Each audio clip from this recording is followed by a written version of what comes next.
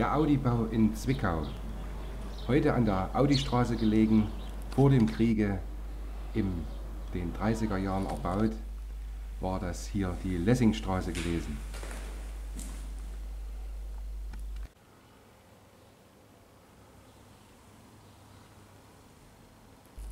Und wenn man sich das Gebäude heute einmal ansieht, findet man hier diese Schönheit, also Nostalgie der 80er Jahre.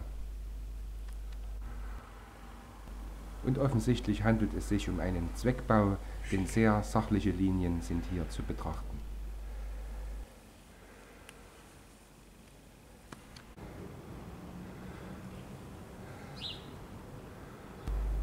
Doch der eigentliche Grund meines Aufenthaltes hier ist, dass dieses Gebäude 2020 zu einer sächsischen Industrieausstellung gehören wird.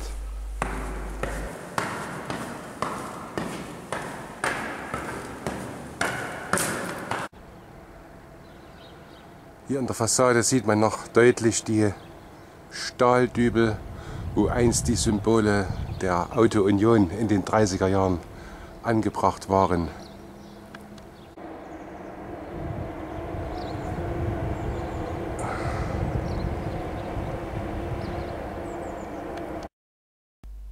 Und zu Zeiten des VEB Sachsenring war hier im Gebäude der Kultursaal untergebracht. Saalburger Marmor kleidete hier dieses Gebäude aus und die Lampen und Deckenleuchten wurden hier aus Lauschau herbeigebracht.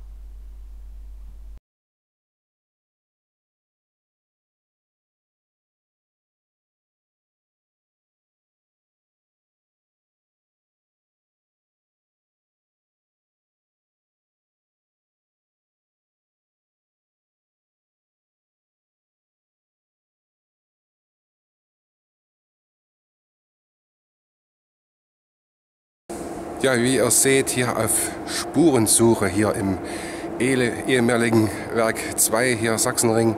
Da wird also dieser Audi-Bau, dieser Name ist erst jetzt aufgeworfen worden, ist natürlich völlig unbekannt. Äh, diese Bezeichnung für uns war es also als Sachsenringer der Kultursaal und äh, der Speisesaal war hier drin, die Garderobe, äh, wo wir uns umziehen und duschen konnten, das war hier im Kellergeschoss und deswegen äh, ist dieser Name Audi-Bau äh, nicht so tragfähig gewesen, hätte man das sowieso nicht benutzen können. Aber was ich euch eigentlich zeigen wollte, dass es hier äh, noch eine übrig gebliebene Haustür, wie sie also hier damals äh, angefertigt und äh, repariert worden ist. Und ihr seht also hier sehr einfach konstruiert, eine Rahmenbauweise. Und die äh, Felder sind also mit äh, Füllungen des Werkstoffs Duroplast hier gefüllt worden. Das sind also äh, Dächer vom Trabant, die hier in Stücken geschnitten werden und da als äh, Füllung verwendet werden. Also wärmeschutztechnisch natürlich hm, nicht ganz so toll.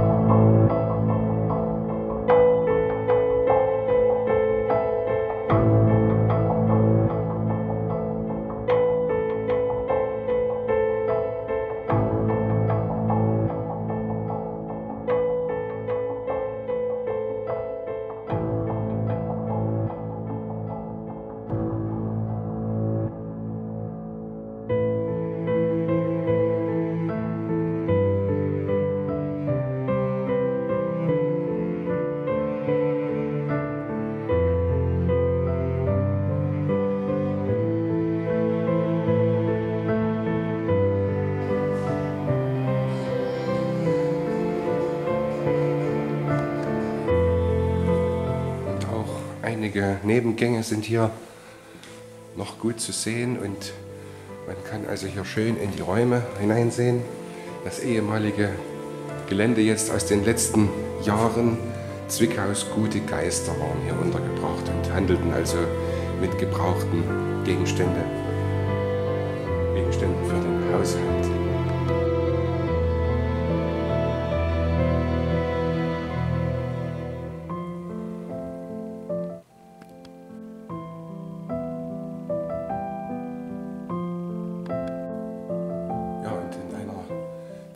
durchgehenden Epoche sieht man auch noch, wie andere Epochen schon zu Ende gegangen sind.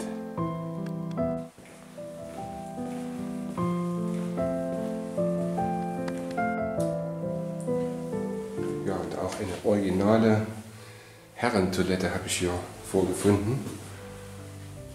So sah das aus. Diese Ständerwände hier als Rahmenkonstruktion mit Kabak- oder Sperrholzfüllung. Ist wahrscheinlich Sperrholz. Ja, und die einfachen Türblätter mit 37 mm Stärke hier, wie es so üblich war.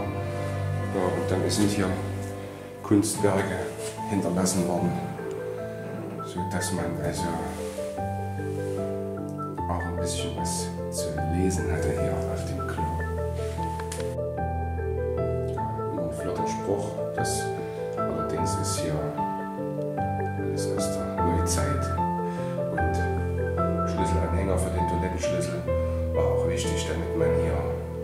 merkt, dass man das Ding in der Hosentasche hatte. Ne?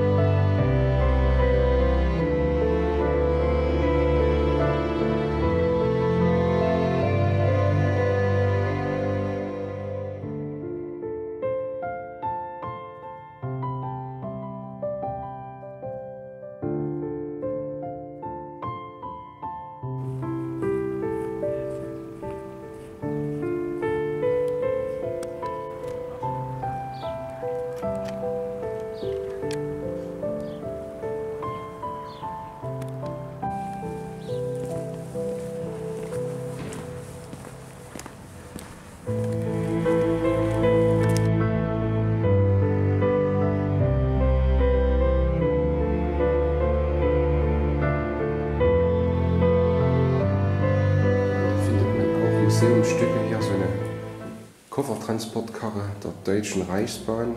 So ein ziemlich schwer metalliges Gerät.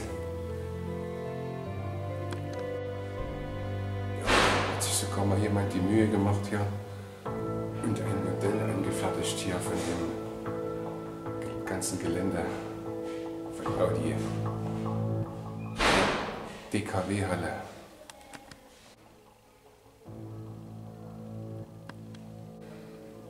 Ja, es ist schon interessant, was hier aus dem ehemaligen FB9 geworden ist, aus der Endmontage. Hier gibt es sogar einen August-Horch-Saal. Ja, und hier gibt es dann noch mächtig was zu entdecken. Das ist also hier wirklich dann noch FB9, wie es gewesen ist. Und hier sieht man die Decke, wie sie also dann hier saniert worden ist in den 80er Jahren. Später dann hat man also die, das alte, die alte Dachkonstruktion wieder weggerissen, nachdem das neue Dach fertig war.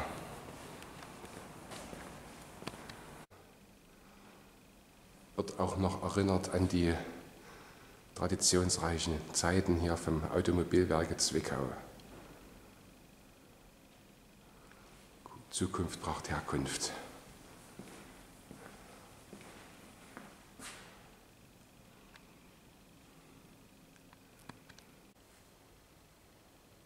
hier ist also wirklich alles noch urbelassen.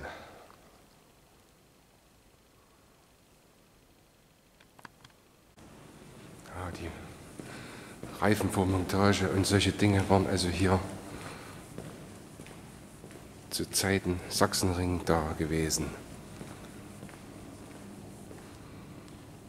Toll, ja. Toll, wie das alles noch so aussieht.